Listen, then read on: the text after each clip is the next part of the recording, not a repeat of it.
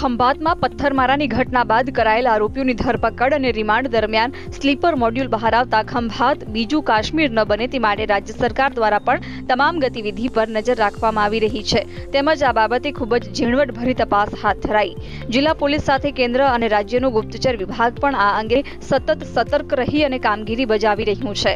ખંભાતમાં પથ્થરમારા હુમલાની તપાસ દરમિયાન પંથકના સંવેદનશીલ વિસ્તારોમાં માથાભારે તત્વો અને સાગરીતો દ્વારા અનેક સ્થળોએ ગેરકાયદેસર રીતે કાચા અને પાકા બાંધકામો ઊભા કરવામાં આવ્યા હોવાનું પણ તંત્રના ધ્યાને આવ્યું છે.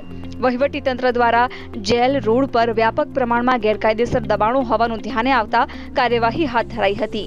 સિટી સર્વેના અધિક મામલતદાર દ્વારા ગત એકવીસ તારીખના રોજ આ દબાણકારોને સ્વૈચ્છિક રીતે ત્રણ દિવસોમાં આ દબાણો દૂર કરવા નોટિસ આપવામાં આવી. જો કે દબાણકારો દ્વારા આ નોટિસ અંગે કોઈ જ પ્રત્યુત્તર ન આવતા આજે પ્રાંત અધિકારીની આગેવાનીમાં પોલીસ વિભાગના ચુસ્ત બંદોબસ્ત સાથે તંત્ર દ્વારા બુલડોઝર કાર્યવાહી ફેઝ બે આરંભાઈ છે. આ સખ્ત કાર્યવાહીને લઈ સમગ્ર પંથકમાં સોંપો પડી ગયો છે.